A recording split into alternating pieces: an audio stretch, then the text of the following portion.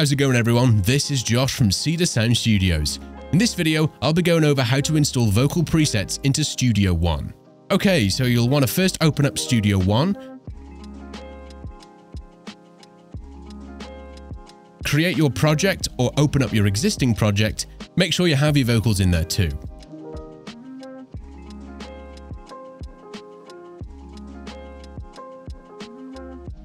Here's the song without the vocal preset.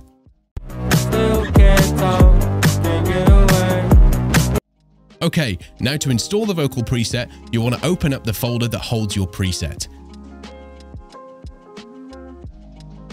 And then simply just grab it and drag it onto your vocal track.